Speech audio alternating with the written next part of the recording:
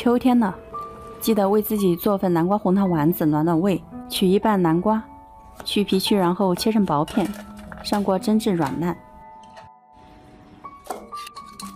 压成泥，加入糯米粉，揉成面团，取小坨搓成圆球，连丸子都是爱你的形状。水开下锅，慢慢铲动，以防粘连。捞起来后，捞出放冷水里，水中加红糖，下入丸子，要不时的记得翻动。等至收干成粘稠状就可以出锅了。春风吹呀吹，吹入我心扉，想念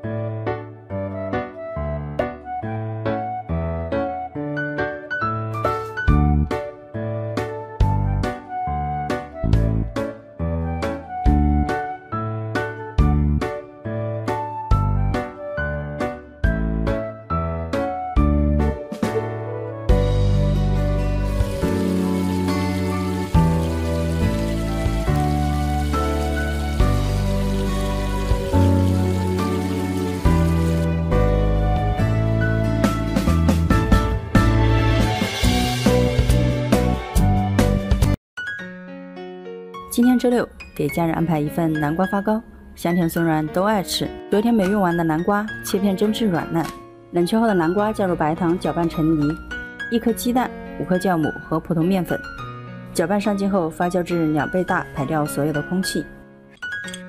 一受热的碗刷上食用油，最后用葡萄干点缀一下，继续发酵二十五分钟。锅中上气蒸三十分钟。刷的油很好脱模，蓬松暄软，怎么都不会回塌。用来当早餐，或者是晚上不想吃饭的时候，都是不错的选择。